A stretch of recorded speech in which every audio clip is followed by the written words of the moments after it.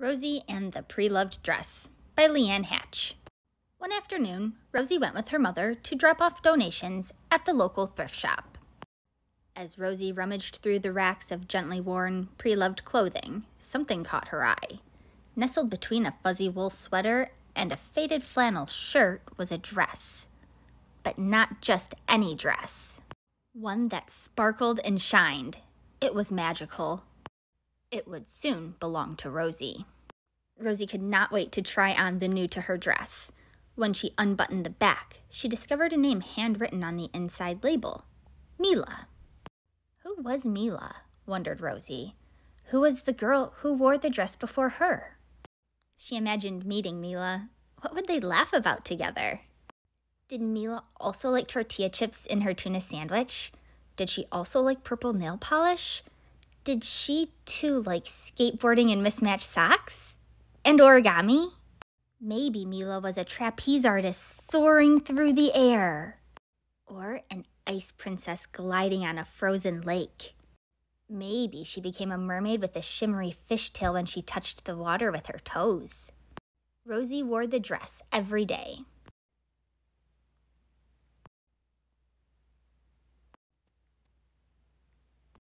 Occasionally, Rosie even imagined herself soaring through the air, gliding across the ice, or flipping her tail deep in the ocean.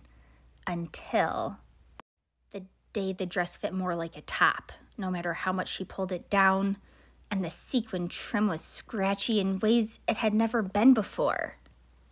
Until the day Rosie outgrew the dress.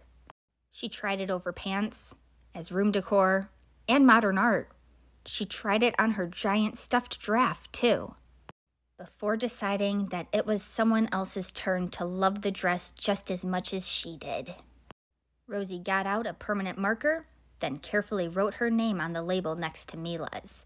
She thought about the memories she had made while wearing the dress. She thought about how Mila had also had her own memories.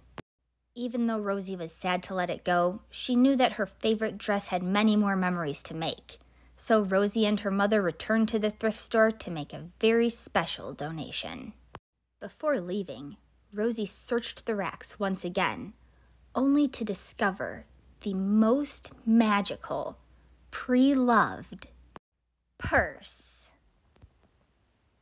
The end.